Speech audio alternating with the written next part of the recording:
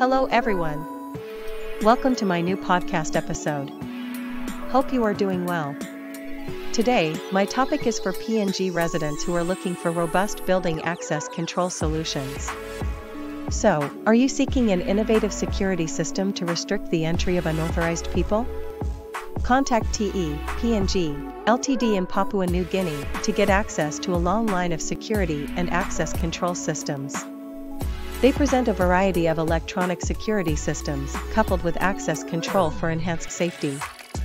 These advanced biometric access control systems can monitor and alert you of events such as face recognition, number plate recognition, line crossing, and object movement. Browse tepng.com to learn more about their building access control systems.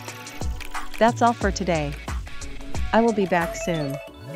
Stay tuned for more updates.